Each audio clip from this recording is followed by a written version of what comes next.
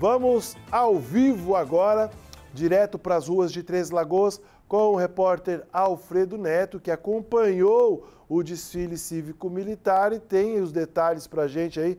Já acabou o desfile, né, Alfredo? Como é que está essa manhã, o clima aí no centro de Três Lagoas? Alfredo, bom dia.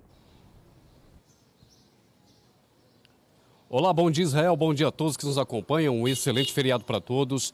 A movimentação continua, acabou, infelizmente foi rápido hoje, o desfile cívico de 7 de setembro, que há anos eram feitos aqui na Avenida Paranaíba, na Rua Paranaíba, e desta vez foi para a Nobre.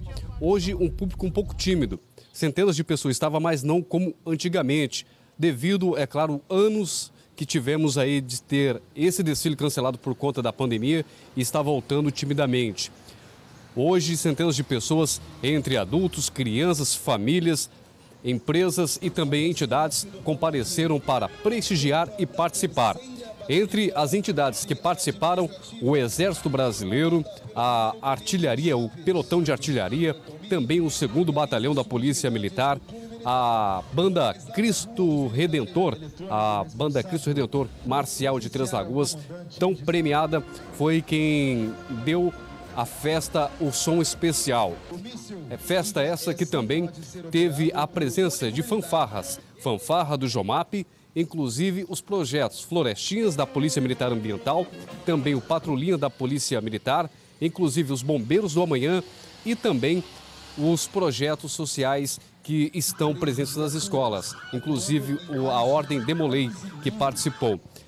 Esse evento foi iniciado com o hasteamento da bandeira feito pelo prefeito Ângelo Guerreiro na Praça da Bandeira, a Praça Senador Ramstept. Em seguida, o desfile iniciado ali no Pátio da Nob, aonde o prefeito, acompanhado da esposa, a primeira-dama, junto com outras autoridades, prestigiaram o evento.